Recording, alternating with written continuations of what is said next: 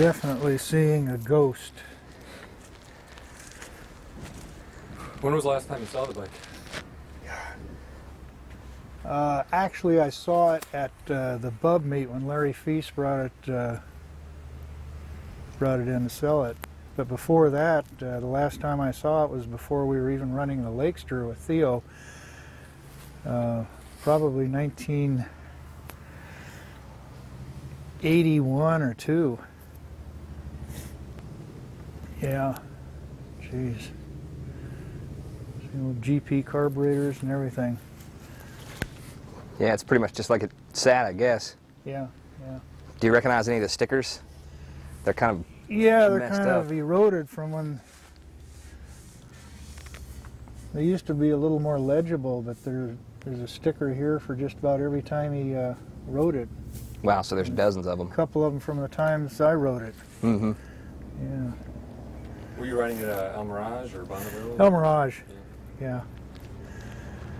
I rode this a couple of times for him, and then when he built his Lakester with a Triumph engine in it, he had a, a Harley Servi-Car uh, rear axle and differential. Mm-hmm. and uh, when they got it all built, he couldn't fit into it.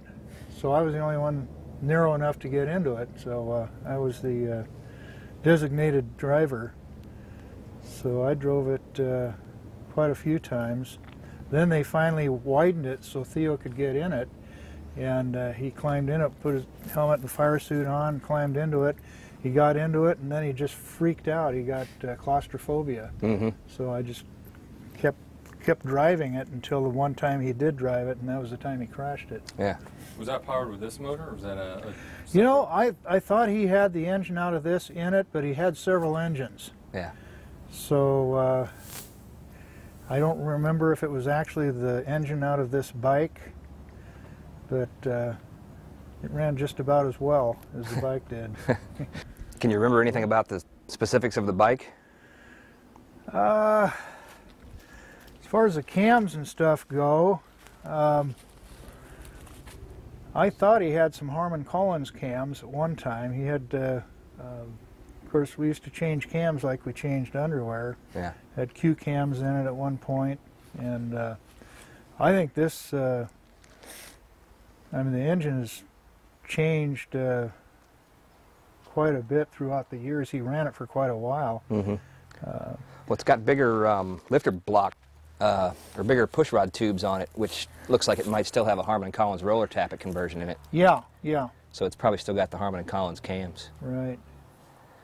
Yeah, he had uh, had that roller set up and uh, needed more clearance at the uh, tappet boss for the push rods and everything, and the, and the tops of the rollers.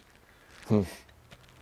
But this is a uh, nine bolt top end. It's a later model top end. It's not uh, not the top end that was made to go on the engine to begin Mhm. with. Right. And uh, back then, if it uh, if it was bigger, it was better. So uh, we usually went with performance rather than. Uh, these days, we run we would run this bike in the vintage class, but it wouldn't be legal because of the, the later model top end. Right. Right.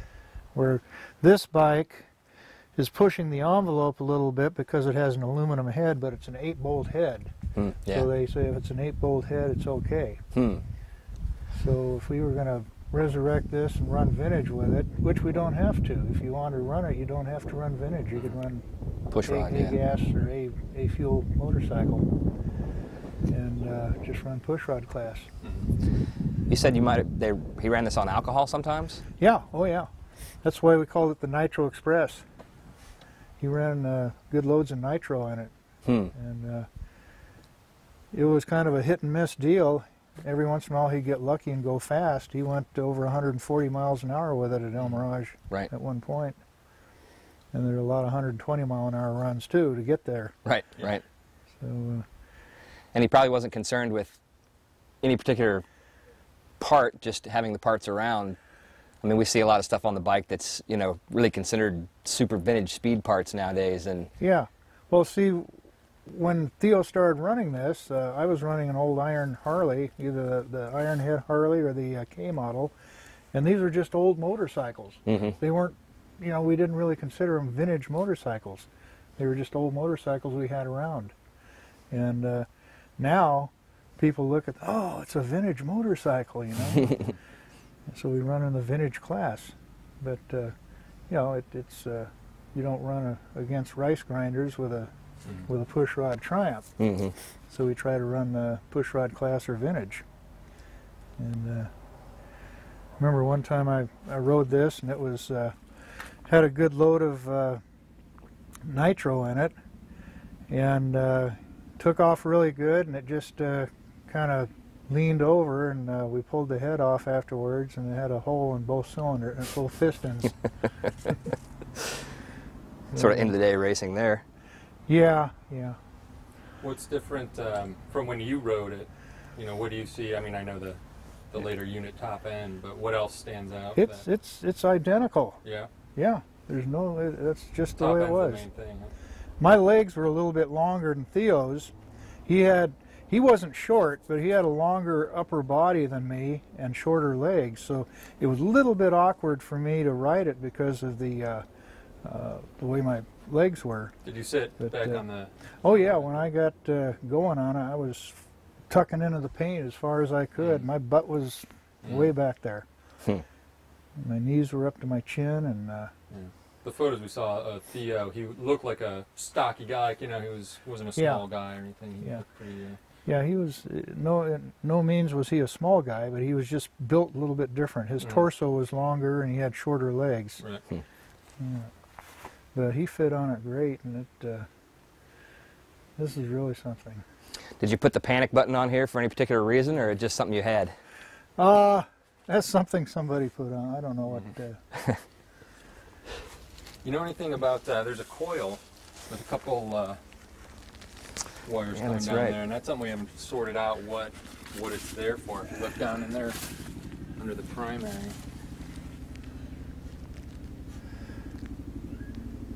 Well, it looks like a Triumph coil. Hmm. Uh, Not sure why I would have needed it with a Magneto no, bike, though. No, um, although I have uh, in a pinch. One time I was at Daytona and my magneto on the KR Harley went out, so I uh, I used the magneto as a set of points, and I went to the auto parts store and mounted a coil just like that and a battery, and uh, ran a coil ignition. If his uh, magneto had gone out, which these uh, Hmm. British units uh, do once in a while, he may have done that just for uh, just to get by. You know what's interesting was remembering that uh, with some of the other stuff we got, it was a kind of crudely made battery tray. It looked like. Oh yeah, yeah. You know, maybe that was Yeah. part of a, a fix, and maybe it was towards He the end. probably of the, had a little runs that- battery back here and uh, Yeah. just just use the magneto for the points. Yeah, maybe it was a quick quick Yeah. setup, and that was when I, you know it was just never removed as a backup. Yeah. Hmm. It's interesting. Because then I think it was leading. Uh, there was a little toggle, wasn't there, or something? I thought if we traced the wires. for I don't remember that. This will go up to uh, either a kill button or a. Yeah, there's Yeah. a kill button on the bar. I thought there was a lead coming from the coil. Maybe it was just the ground. Did it have any kind of seat or anything down here? It seems to me there was something there, but it wasn't uh, wasn't anything for comfort. Just a pad or Might have something? just had a uh, pad or even a piece of a, a metal over there.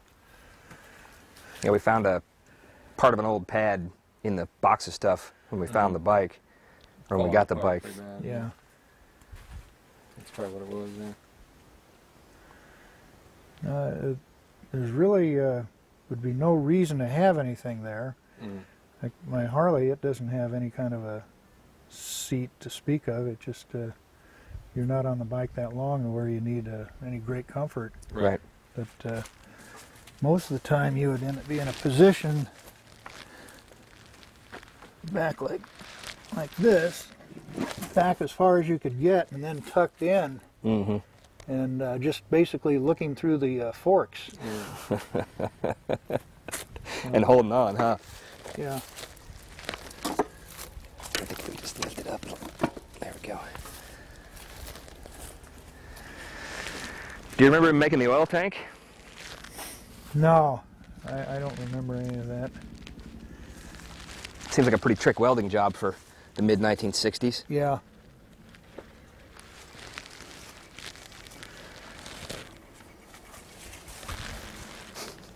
I remember those carburetors. In fact, I remember these carburetors when they were on the Lakester. Yep. I think he used the same carburetors on both uh, both bikes. The dual matchbox floats on there. it's Yeah. Got huge mains in there. Yeah. Well, that's why it's got such big mains, is the uh, alcohol and nitro. Yeah. We ran it with, with uh, 110, and it seemed to be running fine, but we just never actually pulled the plugs afterward to look and see, Yeah. you know, how rich it was running. Yeah, when we got it, we fiddled around with it for about five or six hours and blasted it up and down the parking lot a couple times All right. Just because we couldn't resist. Yeah. Right, yeah. right. That's great.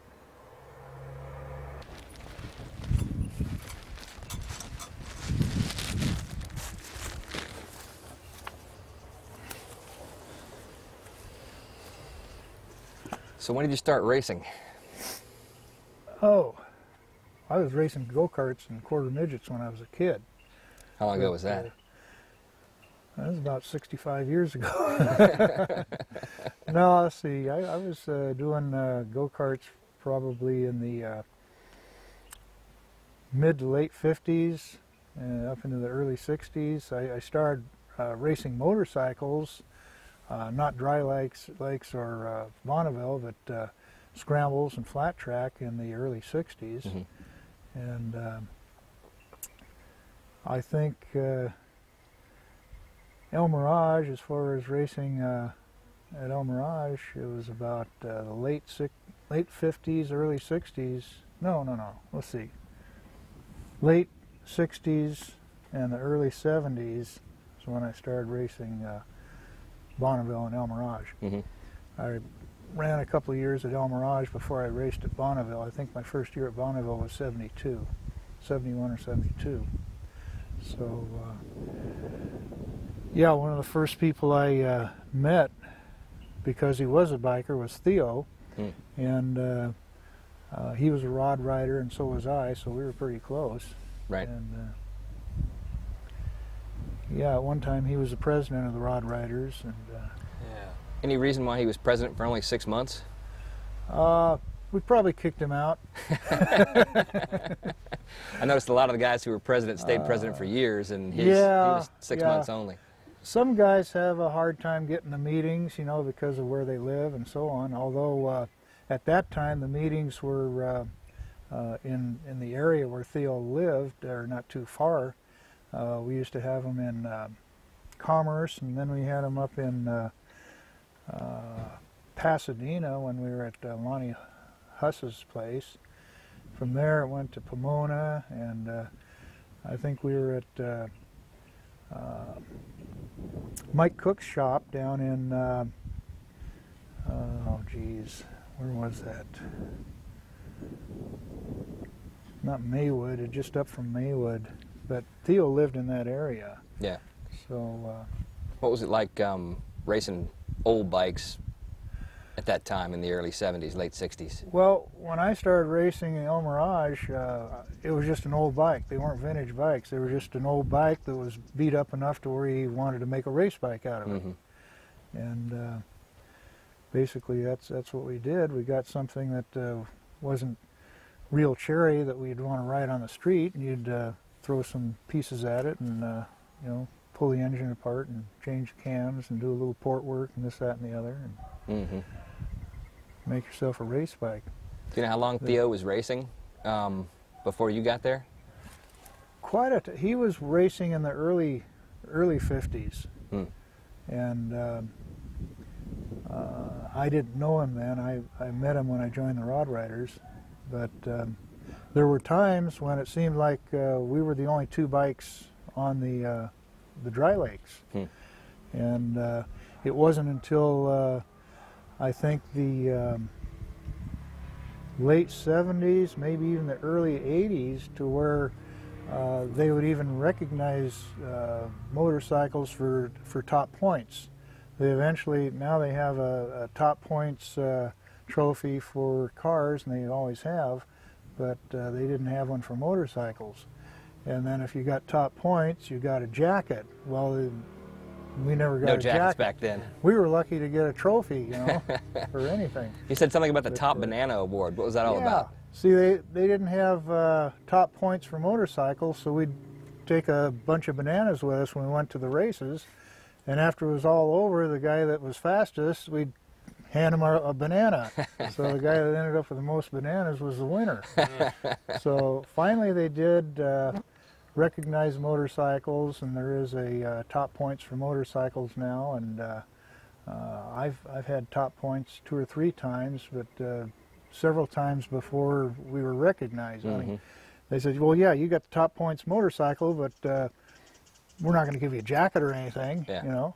So there was maybe a little bit of, I wouldn't say anti-motorcycle bias, but definitely pro-car bias. Yeah, but now we're we're you know a big part of the show. Mhm. You know, the cars are definitely the the top billing, but uh, now it's almost equal as far as the motorcycles go, and a lot more people with money and uh, a lot more involvement, uh, sponsorship wise, and so on. Right. And we've always been a just a fly by night, uh, you know, shoestring type operation, and uh, we uh, siphon gas out of junkyard cars to get back and forth to the races, and uh, do all our own work and everything. As you know, Theo did most of his own work. Yeah. When he got into the Lakester, he had some uh, friends that were pretty good fabricators that helped build the uh, Lakester hmm and they did an excellent job on the Lakester. And uh, uh, I, I don't understand with all that technology why the thing was such an ill handling piece. Mhm. But uh,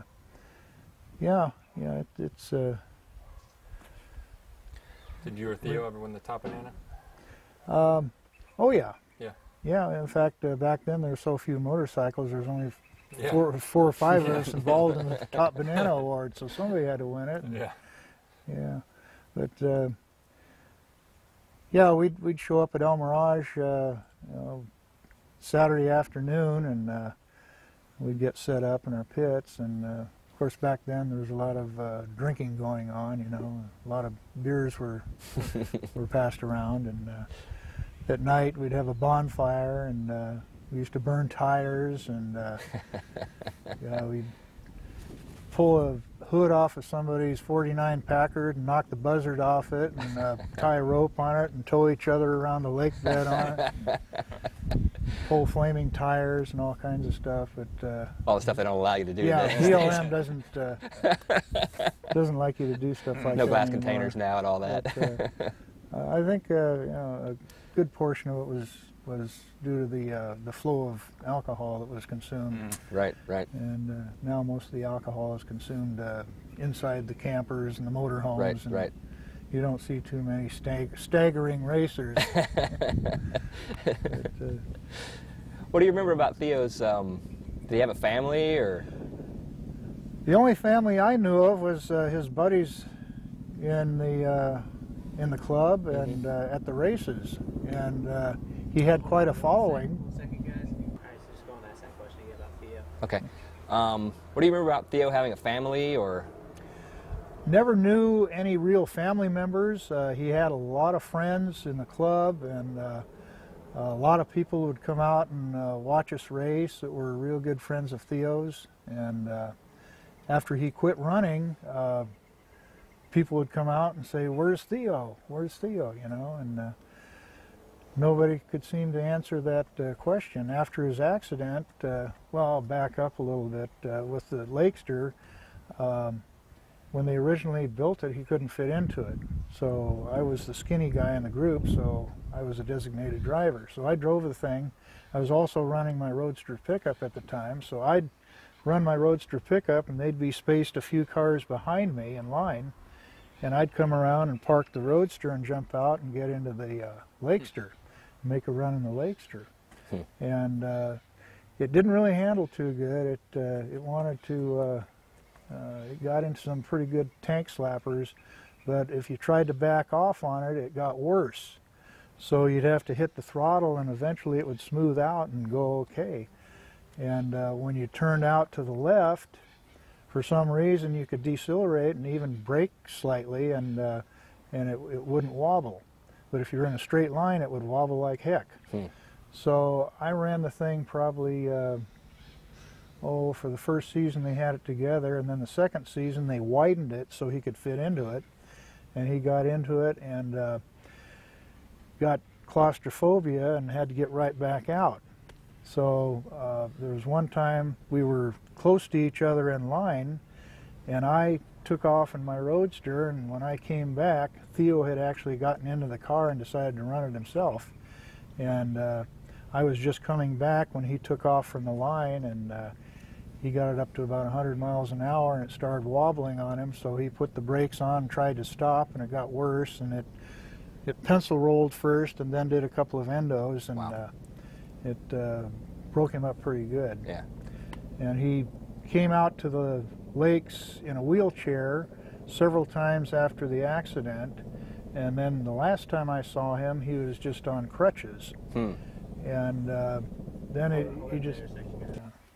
So Theo gets in the car and uh, he takes off and gets up to about 100 miles an hour, maybe a little more, and it starts uh, wobbling on him. So uh, instead of staying with it and pushing on the throttle to power through it, he hit the brakes and the car went sideways and the pencil rolled and then it endoed and uh, it uh, shook him up pretty bad and uh, broke him out. He broke his legs and ankles and uh, he came out to the, the lakes uh, several times after that in a wheelchair and uh, then one time he came out and he was just on crutches and that, that was actually the last time I saw him but uh, he had a lot of a lot of his friends would uh, continue to come out and whenever they saw me they'd, they'd say well, where's Theo? And uh, I don't know. And uh, he had evidently moved he was he had a shop and he uh, he lived in the shop.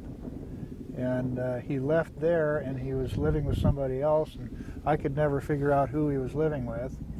And same with his friends they could never figure out where he went. It's just like he uh, he disappeared off the face of the earth Right. then we heard he had died and uh, And this is in the early 80s when he disappeared. yeah yeah When did you hear he I died? so. Was it that not long after? Uh, it was a, cou- I think a couple of years, two or three years later, um, maybe even more than that. But he had died uh, before I heard about it by Yeah. by some time. In fact, uh, there were people who were saying, "Where's Theo?" and uh, we were wondering where he was, and uh, not knowing he had died. Right. But uh, um, I didn't really. Uh, there, there was nobody ever got a hold of us about a funeral or any kind of a service, and uh, uh, like I say, it was just like he had vanished from the face of the earth. hmm And I didn't know where the motorcycle was or the Lakester. I imagine the the guys that fabricated the Lakester probably ended up with most of the pieces. And uh, I was very surprised when Larry Feast ended up with the bike, and he said he got it from someone over in Lake Elsinore. Hmm. And uh, that's what he told me at the time. I don't know for a fact. His name Uh, David, but he didn't know the last. I think it was David, but he'd forgotten the guy's last name. yeah.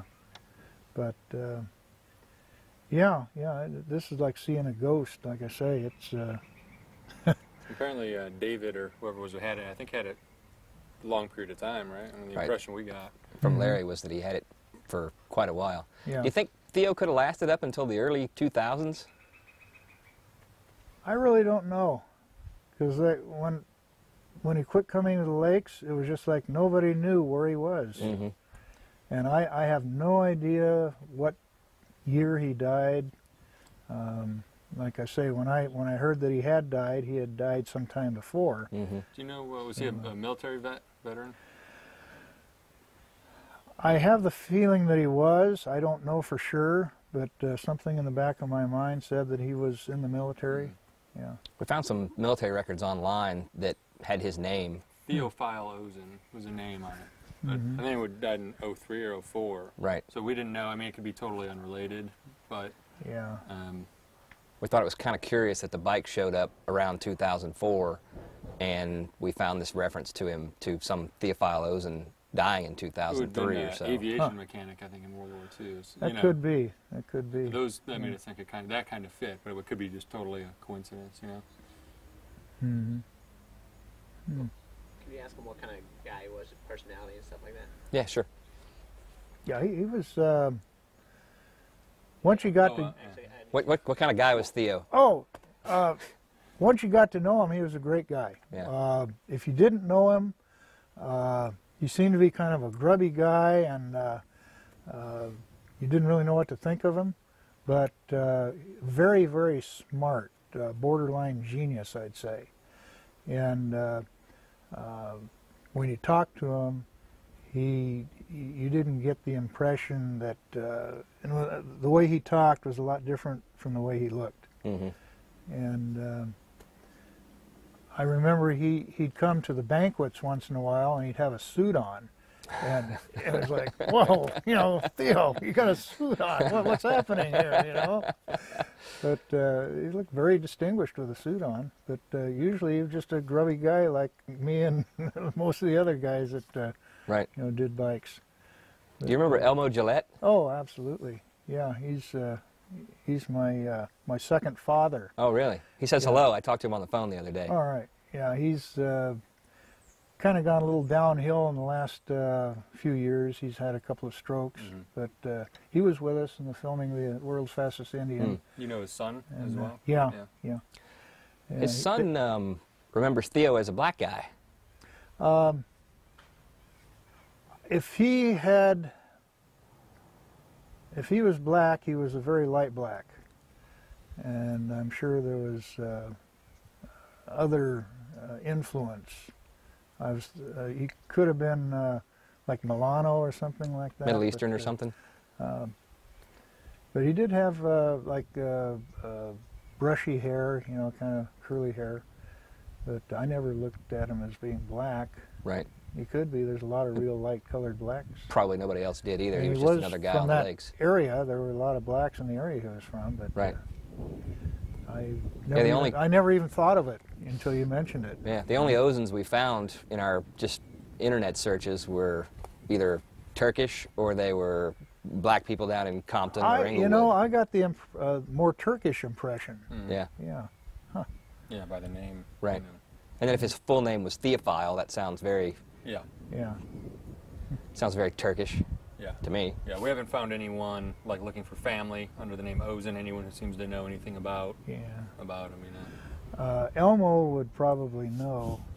Elmo used to run. Uh, well, they used, they used to run uh, top fuel dragsters before they got into dry lakes, but uh, he ran a uh, Falcon with a small block uh, Ford in it called Gillette's Blue Blade. Hmm. It was a little blue uh, 62 Falcon, and they went quite fast with it. And he was in on some other uh, Lakesters and uh, Streamliners, and then they, when Jim Lattin started uh, racing dry lakes, he and Jim Lattin got together, and is all, also always Lattin and Gillette on the Redhead Streamliner Right, and right. like that. Big names. Yeah, yeah.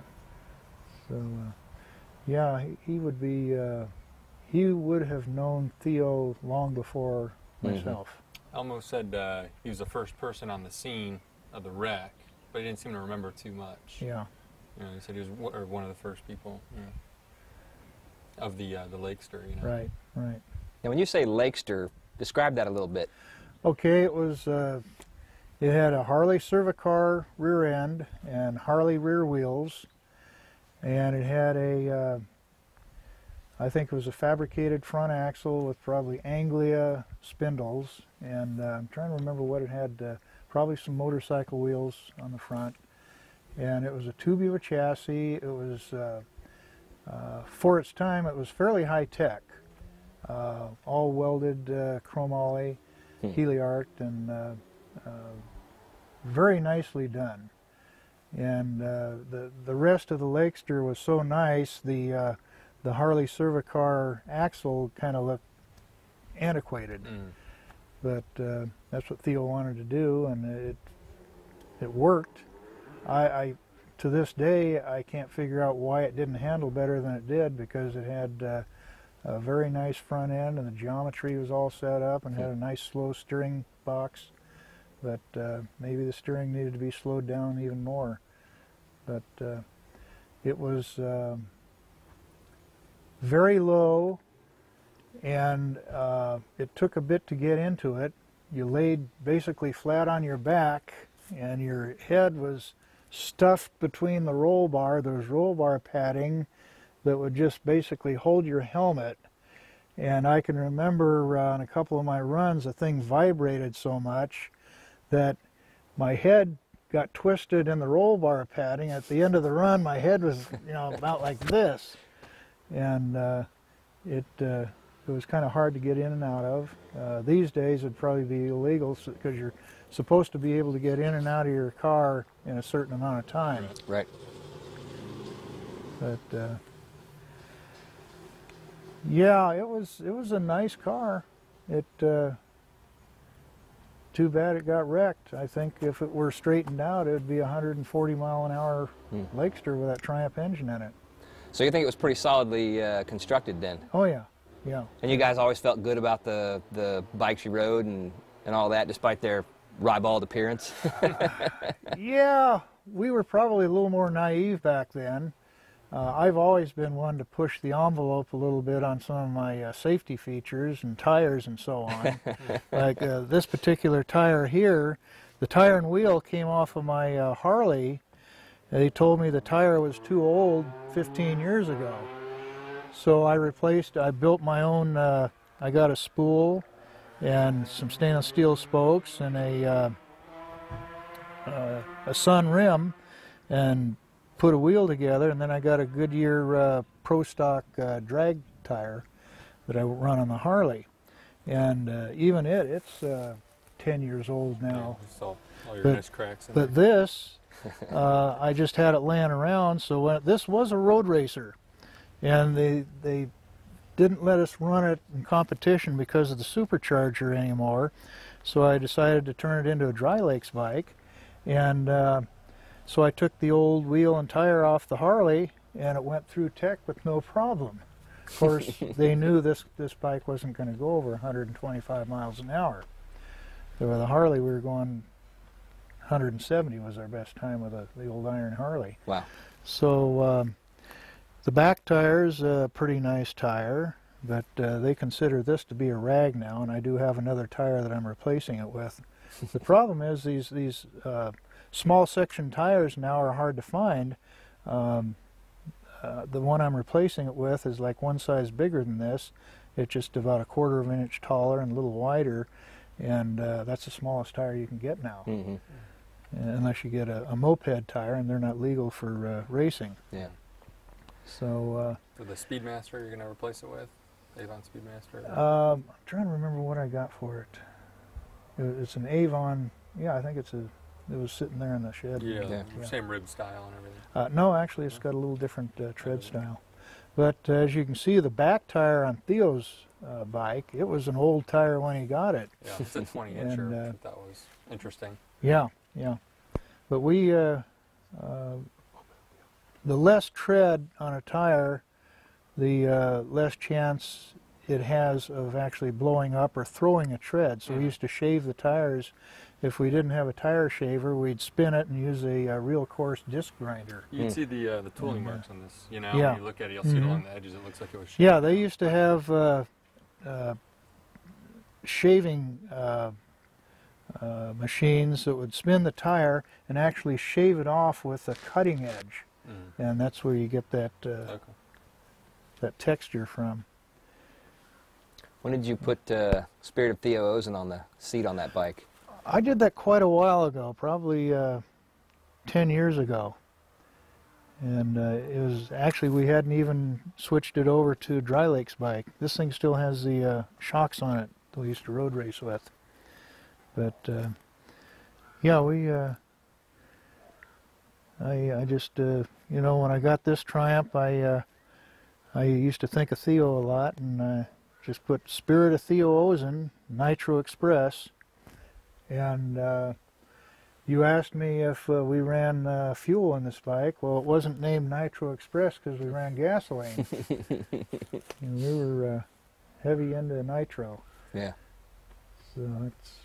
How long have you had this bike? I'm trying to think. Probably about 15 years. Where did you get it?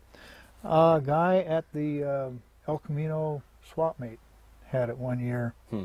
A friend of mine told me about it, and I said, "Well, I don't have uh, I don't have the money to buy that." And then another friend of mine who was with me, he had some money, and uh, I had a little bit of money, and Jim Lattin was there, and he said, "Well, here, I'll loan you some money." And so we, uh, I think we paid twelve hundred dollars for it at the time, but you know, I've done a lot of work to it. Right. It was well worth it. Um, it was actually a steal at the time, but uh, Um I eventually, uh, Terry Lewis was uh, my partner on it, and he decided he didn't want to have anything to do with it, and uh, Hmm. so I bought him out, and I paid Lattin back, and uh, the thing sat for quite a while, and then we got it running, and it wasn't like I say they wouldn't let us run it anymore uh, on the road race circuit. I could run it exhibition, Mm. and that was it. So we just uh, decided, well, it's going to be a, a Dry Lakes and Bonneville bike, and uh, I ran it at El Mirage a couple of times, and then we took it to Bonneville, and my wife uh, rode it at uh, Bonneville, and she Right. got a record with it, and uh, it's got uh, several records at the AMA Bub Meet. Really? And I think we ran uh, uh, M M blown gas one year, and then the next year, uh, in order to change classes, we put a frisbee on the front of it and uh, run partial streamline, Partial blown streamline gas. with a frisbee. yeah, and uh, they weren't real heavy records, but uh, there's something to build on. Right, right. Once we get the well, my son shredded the blower belt at the Antique Nationals, Hmm. So the belts we replaced uh, with they stretched and uh, we lost uh, boost. Hmm. So when I get the right belts back on it, it's it's I think it's a 120 mile an hour machine without uh, getting too much into the engine because I, I don't want to start putting a lot of money and fancy stuff into it because it's such a period piece. Right, right. Uh, I don't want to do that.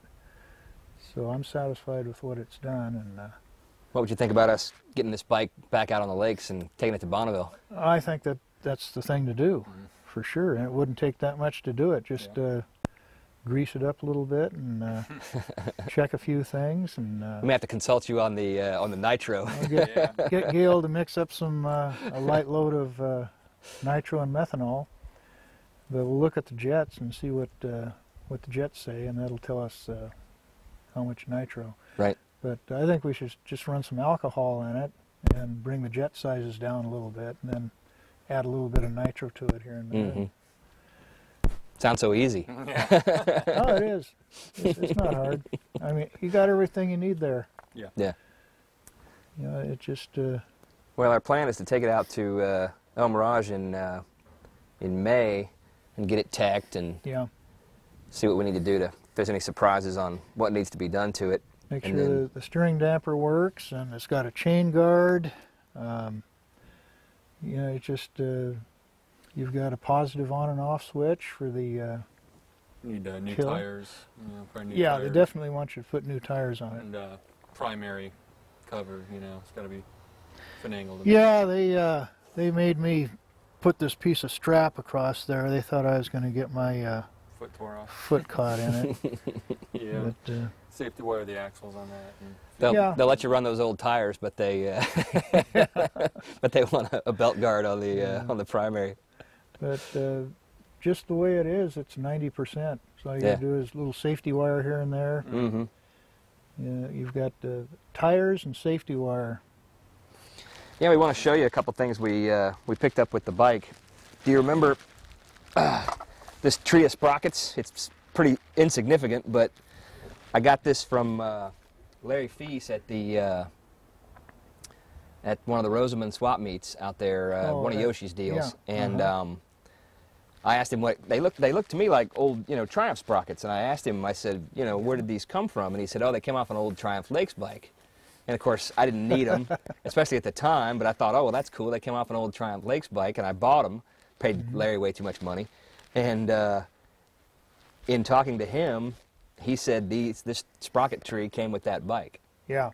Well, these are uh, interesting because uh, what happens is a stock Triumph sprocket, um, aside from the fact that they wear, uh, if you want to change gear ratios, it's a real hassle to change the uh, transmission sprocket. Mhm. So normally what you do, you have an extra chain and you change the engine sprocket. But you can also change the rear sprocket if you've got the right size sprockets. Mm-hmm. And it's uh, in order to make it go faster, you want a smaller sprocket. So what some people would do is turn the original sprocket down um, and either remachine it, which is a real job. Although I've I know people who have actually taken a drill press and made their own sprockets by drilling holes and then filing, Mm-hmm. you know. But uh, uh, some guys would uh, machine these sprockets down and make a flange, and then rivet or put another sprocket on it to get the size sprocket Mm. they wanted Mm-hmm. and then they would have to space the make the make a usually in order to have a flange here you'd have about a 3 16ths to a quarter of an inch mismatch on your chain alignment so you had to make some spacers to to align the sprocket Huh. but uh, There's other one. it was a lot of a lot of work a lot of the uh, uh, flat trackers would just put an overlay sprocket on it Right. and then they had uh, Barnes, uh, hubs, and stuff where you didn't Once even things got fancier. you didn't have to use these stupid uh, cast iron brake Yeah, you drums. see how that one's cut anymore. Yeah, Do you recognize these sprockets from anything in particular, as far as if these I'm are trying to remember uh, the notches? where the notches uh, came from. Uh, you can go to a, a bearing supply or industrial supply and buy blank sprockets and cut them out to any size you want. But this this was a uh, typical thing to do in the in the at, at the time. Mm-hmm. So. Uh, Do you remember actually swapping the rear sprocket on the? I remember doing the engine sprocket a couple of times, Yeah. but uh, we never did the rear sprocket. I used to run uh, on my Harley. I run a stock brake drum to begin with, and the smallest sprocket you could get was a 49, and most of them came with a 52. Mm-hmm. Oh this, boy, this stuff came with the bike as well. yeah. 126, November 79 79. El Mirage. Yeah. First place. That would have been Yeah, that was first place in his class. Mm. B fuel motorcycle. What's the B for? Um, it was a class B. Uh, 650 cc's was a at the time. They had about three or four different ways during the last uh, 20 years that they uh, separated the uh, designations. Mm-hmm. The way they do it now, they just say 650 cc blown gas Hmm. push rod motorcycle or whatever. But uh, I remember one of mine was E E fuel motorcycle. But uh, yeah, that's that's that's neat. 1979. What what do you got there? This is uh, what is that? May '83. 117.865. Yeah. Yeah, this would have been first place in his class. Mm. And these were definitely motorcycle, even though they oh yeah, they used to put the cars on them. It wasn't until uh, uh, mid '80s or early '80s that uh, Tom Evans came up with a uh, really neat motorcycle uh, um, trophy, and we took castings off it, and we've used that ever since. Mhm. We always thought it was weird. We get a motorcycle trophy and it had a car on it. Mhm. Yeah. And Do you know about the uh, the class on that one, the J slash FL? Oh, wait a minute. This is uh, 83. This would be uh, J Fuel Lakester. So that was for the car. This is for the Wow. for the Lakester. Yeah. Wow. Yeah, 117 and change. Yeah. I probably drove the car to get to get this trophy. Wow. I was going to ask you about that. Is Theo only drove it once. The one time Yeah, that he got hurt. and he so got hurt. Some of the times you ran the bike or the Lakester, it would be under his name. hmm Oh yeah. Because Yeah. I, w- I looked through uh, some timing sheets looking for your name and thought that might have been the case. Yeah. You know. Yeah, it was always registered under uh, Theo's name. Hmm. See, I, I don't. I think I was the only one to run the Lakester other than the time Theo ran it. Hmm.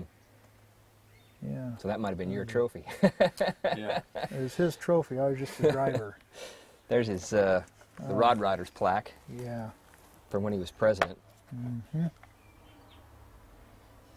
His gavel here. Come to order. Yeah. Neat stuff. That's real wood too. Yeah. Yeah. I can imagine this hanging up. You know, would imagine I've been pretty proud of these. Oh yeah. And then we have a bunch of uh, timing slips or just records from El Mirage. Starting in '67. 67. Yeah. Yeah. And then uh, he's in here a couple times, or the bike is. including uh, the one over over a buck 40 Mhm. That's in there. Yeah.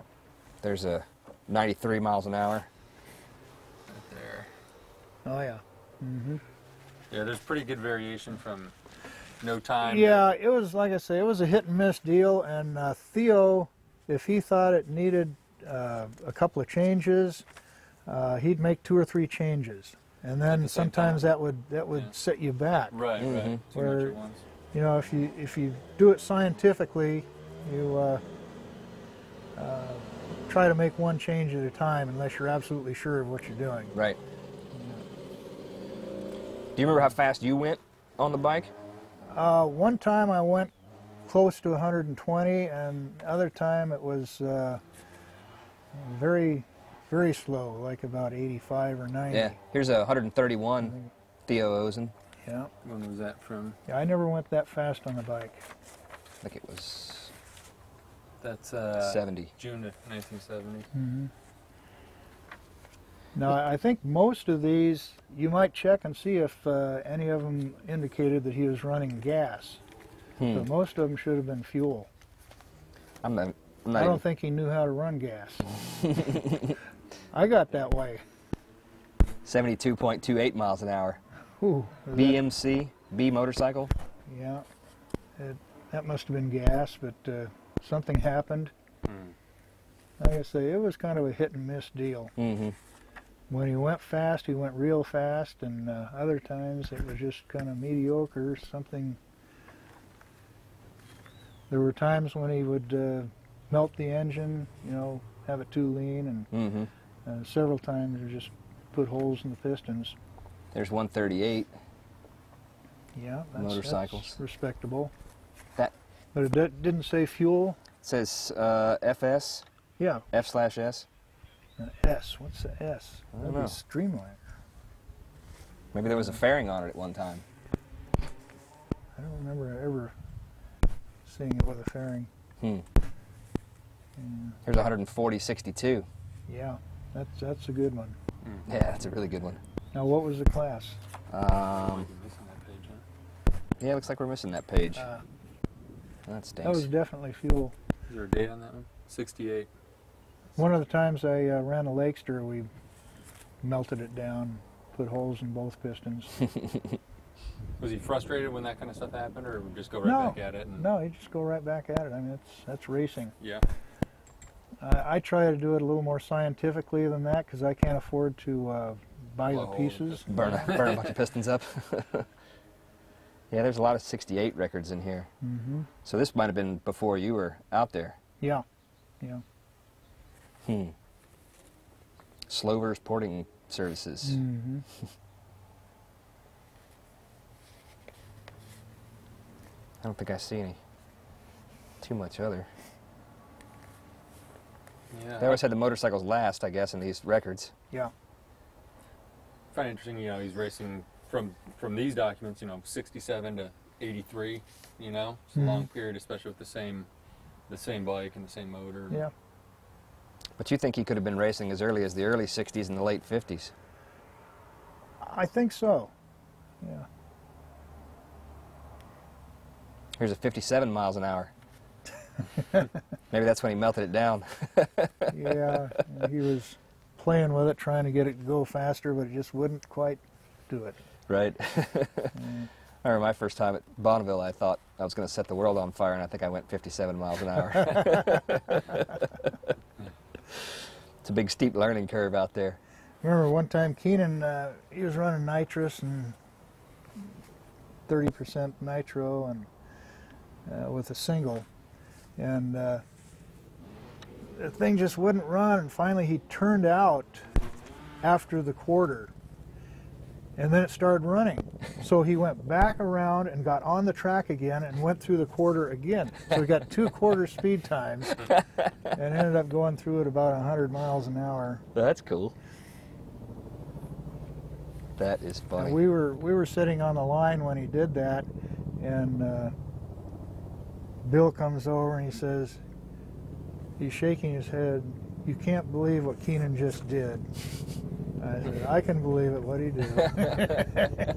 Who was Keenan? Keenan Tatro. He's my uh, Oh, okay. race partner. He, he runs that single cylinder Harley. Right, right, right. He's got my record at the what record I want at Bonneville. Yeah. the 500cc modified vintage fuel. Yeah, he's uh, that's another hit and miss deal. You know, either go really fast or blow up, or go real fast and blow up. Yeah. Uh, we spent a lot of time changing pistons and cylinders, and uh-huh. he blows transmissions once in a while, so we work on the transmission between Right. runs. And one time we blew all the gears out of the tranny, and we just stuck the thing in high gear, and we tow started it, and uh, well, we kick started it, and then we towed it up to about 70 miles an hour, and then he got on it. And I don't know if they let you tow motorcycles anymore or not. Went 150 miles an hour. Another 134 mile an hour. Do you remember if the number on the bike, it's on the plate, it says 650. Do you remember if that was like maybe a class designation since it was a 650cc, or would that have been his number? No, that was his number. Really? It was a 650 uh, motor, and he said, "Well, that sounds like a good number to me, so uh, my number is going to be 650." Huh. And nobody else had that number, so he ran that number. Remember Jim Drinker? Yeah, He's uh, He- right next to Theo on this uh, 68 timesheet. yeah, Remember what he ran? no. I know he didn't drink though. he used to get razzed about that all the time. I used to got, know a guy named Paul Stoner. yeah, yeah. And, uh, I knew a Tony Stoner. He was a uh, he was in the military and he retired a major. And I said, "How did your troops feel about you being a major stoner?" and he just glared at me. Oh yeah. Is this um? It's got some numbers down here, like 41 Theo Ozen NT. No time. No time, That was okay. a turnout. Yeah. The MC, the 41. It's at, uh, either NT for no time or a TO for turnout. Hmm. Yeah, there were there were a few few turnouts and a few times he should have turned out. You remember if he ever wrecked the bike? I don't think he ever wrecked the bike Hmm. that I know of. Doesn't look like much has happened to it. Yeah. There's another 130 mile an hour pass, 131. Yeah. Yeah. Here's some disqualified sidewinders. Illegal body. All right. Yeah. Uh, this this this is really really a piece of work. Well, we're going to get it back out on the lake, and Yeah. we're definitely going to uh, keep you updated as to what we find. Yeah. We're going to hopefully Well, dig out need- the whole story. You You need know? some uh, help sorting out the tuning. Uh, Yeah. That'd I'd be more than great. hel- Oh, we'll happy to definitely. help you on it. Yeah. If uh, you know, I got plenty of Amal jets, and uh, if you want to run gasoline, we can uh, jet it for gasoline. Hmm. Maybe gasoline at El Mirage, and then uh, take it to Bonneville and run some run some fuel in it. Alcohol's real easy to run. Yeah. Um, and now, nowadays, it's not even. Uh, I don't think it costs as much as gasoline. Hmm. So I think it's cheaper than gasoline. Yeah. Uh, if you want to start out with alcohol, it's not a problem. It's got the. Uh, the only thing is, if you're running fuel class, you have to have a uh, Fuel uh, shut off switch. fuel shut off. Right. So you'd have to uh, rig something up there. Mm-hmm. But uh, if you're running gasoline, is all you got to do is change the tires and do some safety wire. Um, What do you think about the? Uh, and The the, primary. primary, you'd have to uh, do some work there. Yeah, it's one of the things they wanted to know was how are you going to keep your foot out of the uh, Yeah. primary? Well, your feet are way back there. Feet away back yeah. there. That argument didn't make sense. Yeah. No, it's it's practically race ready the way it is. mhm. Check the inside of the tank and uh, make sure it's not too scuzzy. Or make Yeah. some new uh, new cables for it, just for the safe Eh, side. I wouldn't worry about it if, if they work. look, look at this throttle cable. Oh, actually, No, wait, is it the clutch cable? Yeah, the yeah, the clutch clutch was looking cable's a little bit vintage. Yeah, looks like it. It still works though, huh? Well, It goes one way. It goes one way. it did before Bonneville. yeah, We might do a new uh, pad too. that's that's a little uh, on the hard side. Yeah, Yeah, that one's rough. might feel that for Yeah, a little while. that or just take it off. Tank breaker. Yeah, I like a made new one's worn down. You know. yeah, yeah, it'll polish up with a few runs. Yeah. Well, that's what we plan to do with it. Yeah. Uh, Wes, real quick, you, you got that sheet? You want to just check it, make sure? Yeah. Let me take a look. at. Uh, just cut roll for a second. After all these years, is there a reason you're still racing old motorcycles and, or vintage motorcycles compared to, um, you know, now getting something new and fast and Like a Hayabusa. yeah, Uh, I just don't like new motorcycles. yeah, They don't have any class. If they don't have spokes and you can't kick them, they're not a motorcycle in my book. and uh, you know, it's just uh, it's what I've run all my life. So why should I change? yeah, It's it's it's fun. I'm not going 250 miles an hour, but I don't care. yeah, My sons can ride the new motorcycles and go super fast, and I'll just bump along doing what I'm doing. Yeah. Yeah. My wife wants to get on it once in a while. That's fine with me. Hmm. And it's not that we haven't gone fast. I mean, uh, we've got one of the fastest uh, K models, flatheads, uh, that's running, and uh, we have done 170 with that old Ironhead Wow. Engine. It's 1000 cc. That's hauling groceries, man. Yeah. and uh, a lot of people breaking records in the 1350 and 1600 uh, uh, cc classes going slower than 170. Yeah. So Yeah. it's not like we haven't uh, paid our dues and uh, gotten down the, the road. And Well, hopefully we'll uh, be out there seeing you, you know, later this year, absolutely, getting a little tuning advice with this thing. Yeah. At least uh, Yeah. yeah. I want to go 140. Yeah. well, even if you don't do anything to it, uh, bring it in and run it through tech just to see what they say. Yeah. Yeah. you know. That's I think before we really start doing anything to it, Yeah. you know, just to let them pick it apart. And then we don't want to change much of it, you know. Yeah, we want to. No, there's no reason to. It was very functional the way it was, and other than a few little safety uh, items, uh, it's it's should run just the way it is. Mm-hmm. Yeah, we did get it running and blasted up and down the parking lot a few times at my shop. That's that's great. everything worked great with the brakes. Yeah. He got a little carried away and almost went out in traffic on it. Yeah. Yeah. I would. Yeah. That's two things. Um, ask him uh, if he has any like major Theo story or just whatever story he thinks of the, when when he thinks of Theo, what stands out in his mind. Okay. Yeah, but What uh, what stands out in your mind most about Theo? Well, the thing that comes to my mind usually when I think about him is when he tried to get into the Lakester with his fire suit on and everything, and he instantly got. I got to get out of here, you know. Get me out, get me out, you know. Yeah. I mean, he was just uh, uh, Claustrophobic. so claustrophobic. And it was amazing to me that uh, the run he did make, that he was able to get into it and run it.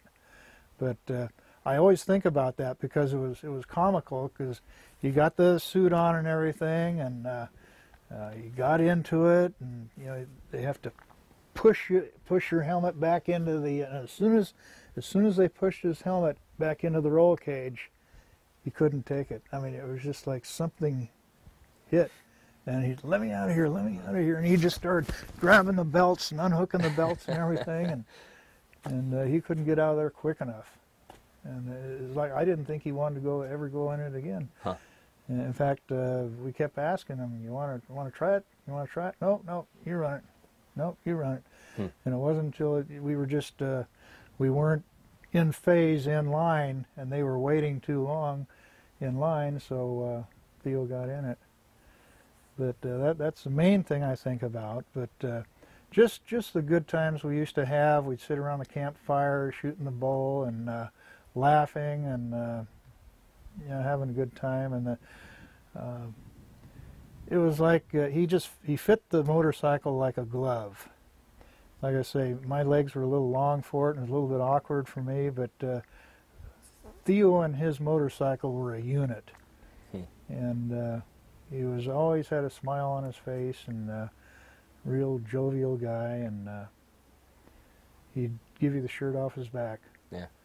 In fact, he kind of took me under his wing when I first uh, started running El Mirage, and I, when I first started running El Mirage, I was running a, a Roadster pickup with a flathead V8 or a, a Model A four banger in it. Mhm.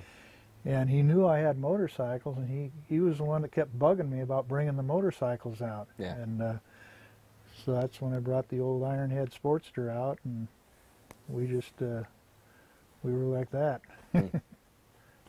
really good guy. A lot of people miss him. He had a lot of friends, but nobody could find him. Yeah, I think we're going to find him, or at least Yeah. tell the rest of the story. I, I, there's got to be there's a there's a big blank spot there that needs to be filled in. Yeah. So, uh, yeah, start uh, start with Elmo Gillette and uh, some of the older rod riders, like I say, uh, John Helash. Yeah. He's, I'll have to get that phone number from you. yeah. Um, yeah, there's there's still several people who would remember him and possibly know what happened to him. Yeah, I was in the Rod Riders for 20 years, and then I transferred to the San Diego Roadster Club. Hmm. I've been in the Roadster Club for almost 20 years. So, uh, yeah, sure like to see this out on the lakes again. Yeah. Well, with any luck, you will. No reason not to. Yeah. Uh, what would what would Theo think about you guys on the bikes? Oh, he he just Let me let me ask you. what do you think? Uh, what do you think Theo would think about us running the bike again? Oh, I think he'd just uh, look up and smile at us, you know, or look down. I was gonna say, look up or look Yeah. down. Yeah, whichever way he went, he'd, he'd be ear to ear smiles. Yeah, yeah, that was that was his baby.